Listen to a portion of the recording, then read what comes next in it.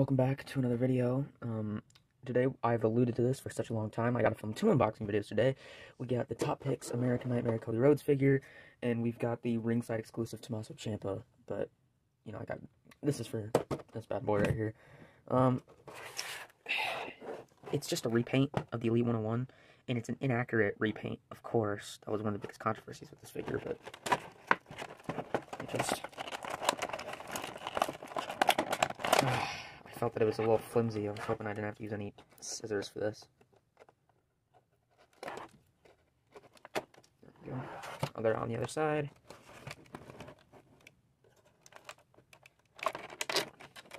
How am I not getting it? It's right there. Oh, I did.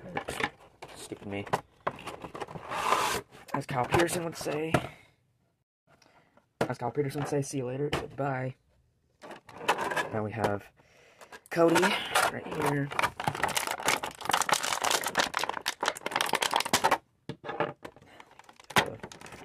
Belts oh, out. Okay,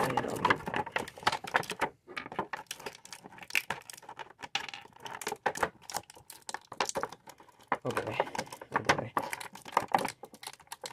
Come on, mic holding hand, my favorite.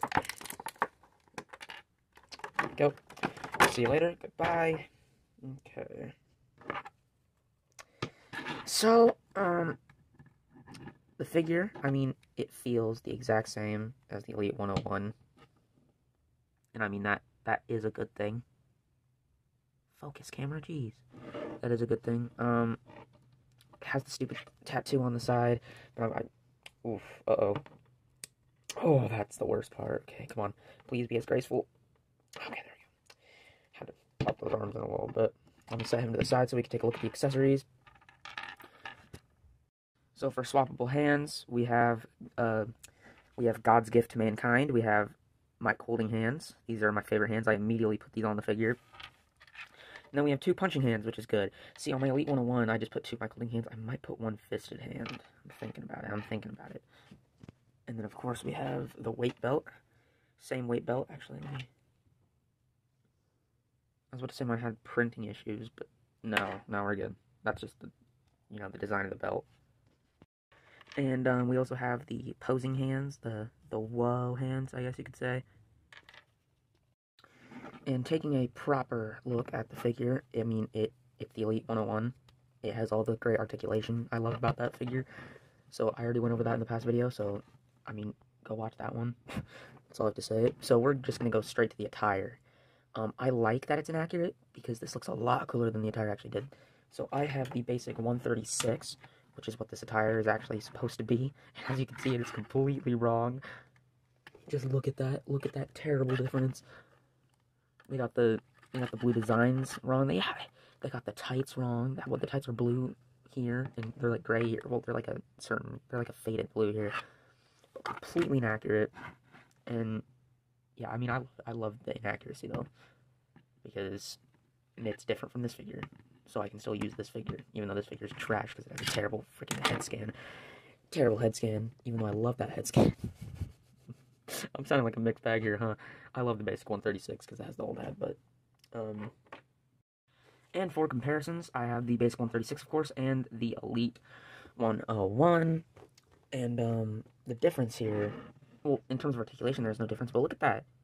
Elite 101 is a taller figure somehow. I don't know how they... I would say messed it up. It's not ter it's not a terrible difference.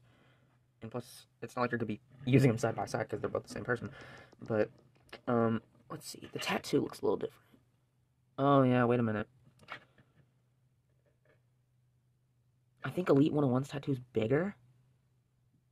Well, I acetone the head off, or I acetone the paint off. That might be why. Hold on, let me this Cody head. Bam. Um, yep. There we go. That's so much better. There we go. That's leagues better. There we go. See? so I guess I'm just going to keep popping the head off because I don't think I want to acetone the head off again. Or not the head. Why do I keep saying acetone the head? Acetone the paint off. There's one more thing I want to test though. I did it in the Elite 101 review.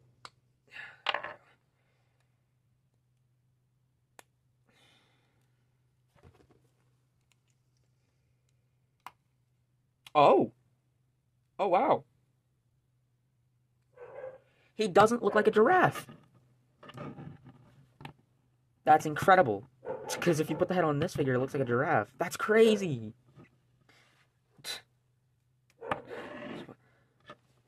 You know, I'm pretty lazy. I might just keep this as the head for a little bit.